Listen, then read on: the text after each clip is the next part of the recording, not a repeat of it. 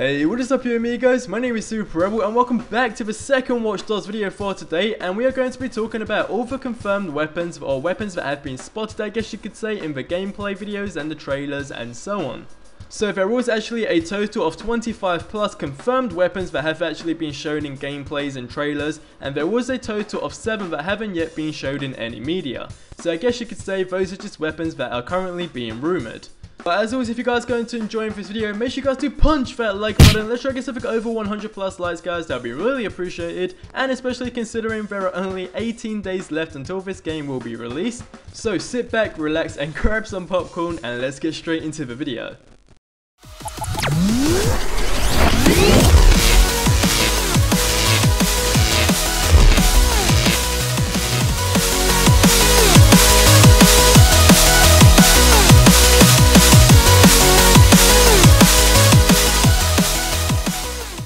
So first of all, let's start off with the melee weapons. So as you guys have seen in the trailers and gameplay videos, we have seen that Aiden is really fond of his baton.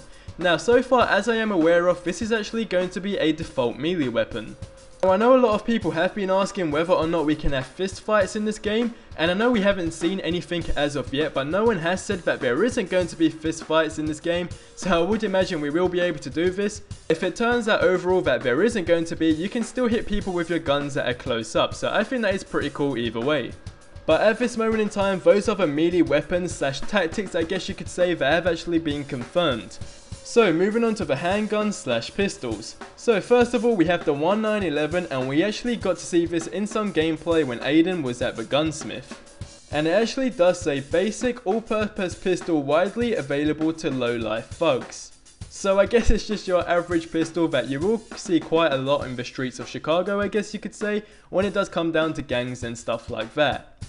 Next we do have the 92FS and we got to see this in some gameplay as well but we didn't actually get to see it in action, we only saw it in the weapon wheel.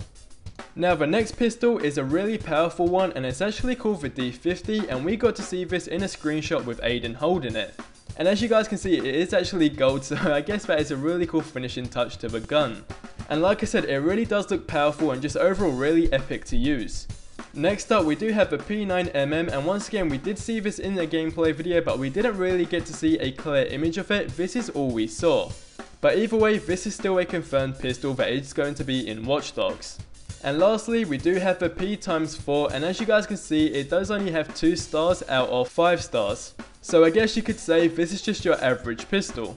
And those were all the confirmed handguns slash pistols that we have as of now. So now moving on to submachine guns. So first of all we have the Cyberpunk gun and this is actually quite a popular weapon in just any overall like FPS game in my opinion and it is a really cool weapon as well. Next up we do have the SMG-11 and we got to see a sneak peek of this in the trailer.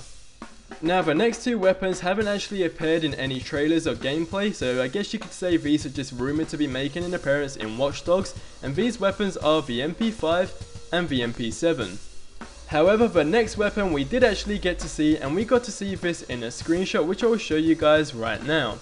So in my opinion, this weapon just looks absolutely insane. I really like the design on it and as you guys can see in this screenshot, it is currently firing with the bullets flying out and everything. It just looks absolutely insane. I really do think this is going to be one of my favorite weapons. Now the second to last weapon we do have is the Tommy gun and we got to see this in the season pass trailer.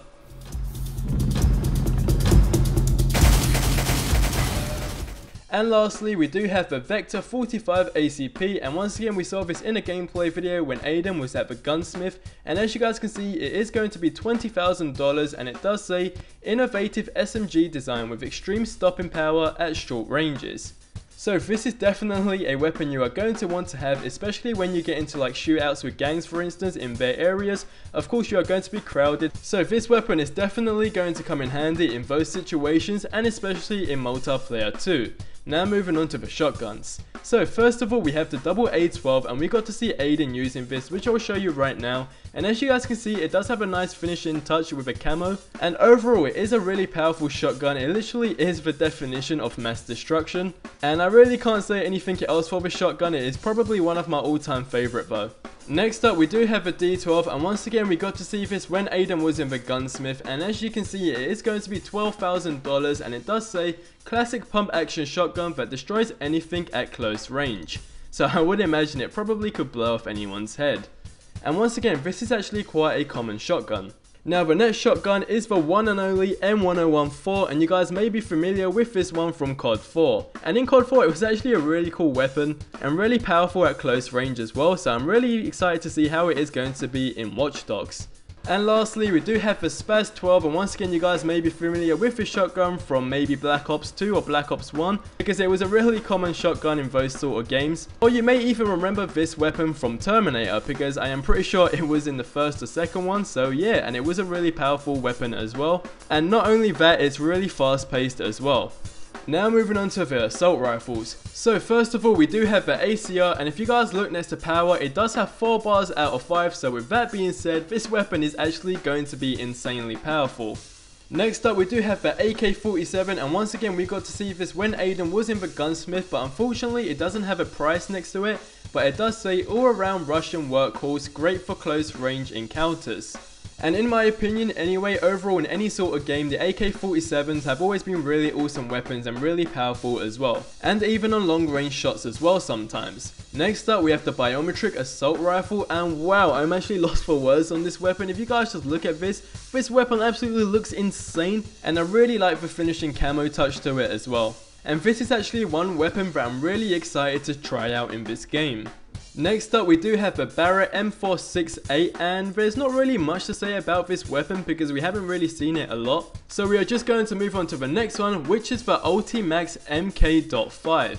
And these guns have always been quite good when it comes down to your ammo because as you are probably aware these do hold quite a lot of bullets but the only downfall to this gun is when it comes down to reloading but apart from that it's really good for long range shots as well.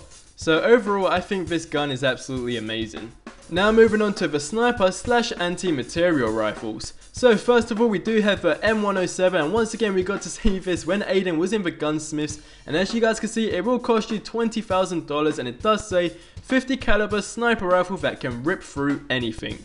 And in my opinion, this is actually going to be my first choice when it does come down to taking an enemy from a really long distance. And especially when it says it can rip through anything, I would imagine even if your enemy gets into a car, you could probably be able to blow out that car within like 3 shots or something like that. So overall, I am actually really looking forward to see how this sniper will actually work, in terms of damage and so on. So the next one isn't confirmed yet, so that does make it a rumor, and apparently we are going to have a Russian sniper rifle in this game, and this is what they look like, so it's just one of those rifles where you take one shot reload, one shot reload.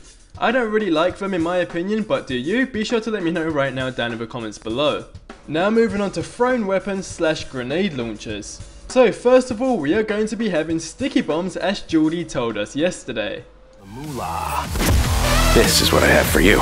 It's a uh, sticky bomb. It sticks. Now I'm actually not too sure about grenades since we haven't really seen anything but if we have be sure to correct me down in the comments below and let everyone else know. But from my research I haven't really seen any grenades. But either way, moving on to the grenade launchers, the first one we are going to have is the G106 and once again we saw this when Aiden was in the gunsmith. This is going to cost you $15,000 and it does say single shot grenade launcher. So one shot and boom, the job is done. And the second grenade launcher is the GL94. So there it is, all the confirmed weapons for Watch Dogs. If I did miss any out or make any mistakes, be sure to correct me down in the comments below. And I would like to know which one is your most favourite weapon so far and which one do you not like. Be sure to let me know down in the comments below. And if you missed earlier's video, it was about Easter eggs in Watch Dogs. So if you didn't see that, be sure to go ahead and check it out. I will leave a link for you in the description below. But either way, that does bring today's video to an end. I hope you guys did enjoy this one. And if you are new to this channel, thank you for stopping by. Please do hit that subscribe button below to stay up to date with the latest in Watch Dogs news, ideas, updates, and all that good stuff. That will be really appreciated. And of course, you will become an amigo and part of the amazing, awesome, beautiful team. But either way, I will see you in my next video, which will be tomorrow. But until then, guys, I hope you have an awesome day, and adios amigos.